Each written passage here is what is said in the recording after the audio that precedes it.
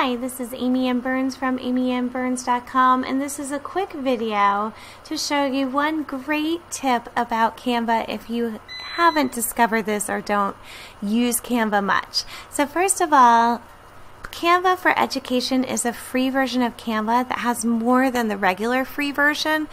Um, actually has a lot of different um, items from the professional paid version. So if you are an educator, educator, excuse me, and you haven't signed up for canva.com forward slash education using your educator's email address, I highly suggest you do that because if you can get Canva for Education for free, it gives you a lot of different options, templates, and other things that you can use so wonderfully in your classroom to create posters, manipulatives, or what I'm going to talk about today, programs. So, my elementary music students in our conservatory had their recitals this week, so I needed to make a concert program. But I didn't want to take too much time, so I went to Canva, put in create a design, and put in concert program.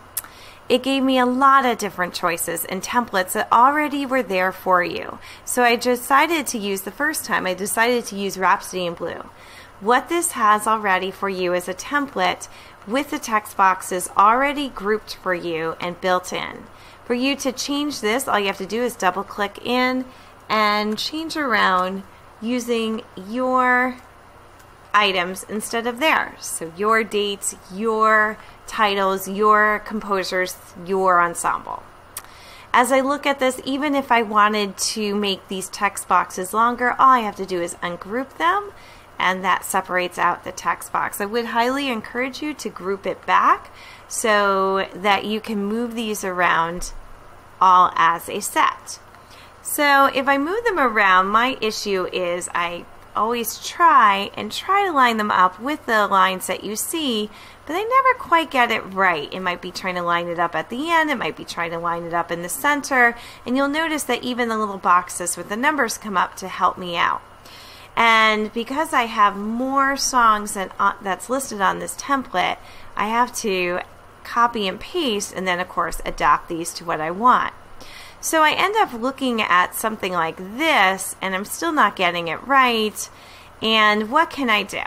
So what I can do is I can select all using Command A on a Mac or Control A on a PC or Chromebook and then go up to here. Now that I've selected all, go up to position and click tidy up.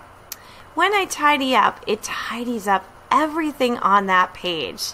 And because I tidied up, let me just select it all again, position, it uh, did it towards the center. So it looks really good. So I don't have to worry about trying to align things. I love this tip. It's very intuitive. It's just select all, position, tidy up even if I go to a different template with the side here. Now if you look at it, this little sidebar is actually on a portion of this page that you can't see. So again, I have things all over the place and not all of these are grouped. So I would go through these and group them. But for something like this, where this part of the template is sitting off the page, I will have to actually manually click by using the shift key to get all of these boxes selected. However, I can tidy it up again by going to position, tidy up, but this time I'm going to put them to the left. When I do that, then it's going to match up with this bar. Maybe the intermission, I might go and position that back to the center. And maybe this Mozart, I would have grouped it so that it would line up correctly. So that's very important to group your text boxes when you're going to use the position to tidy it up. But that tidy up is phenomenal.